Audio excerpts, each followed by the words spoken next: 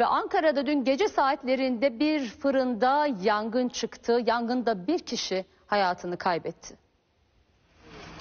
Yangın Ankara Keçiören'de bir fırında çıktı. Alevleri gören çevre sakinleri itfaiyeden yardım istediler. İtfaiye hemen olay yerine geldi, yangına müdahale etti ve yangın söndürüldü. Ancak içeri giren itfaiyeciler fırın çalışanı Abdullah Bektaş'ın cansız bedenini buldu. Abdullah Bektaş'ın yakınları acı haberle yıkıldı. Olay yeri inceleme ekiplerinin çalışmasının ardından Bektaş'ın cenazesi otopsi için Adli Tıp Kurumu'na kaldırıldı. Yangının çıkış nedeni araştırılıyor.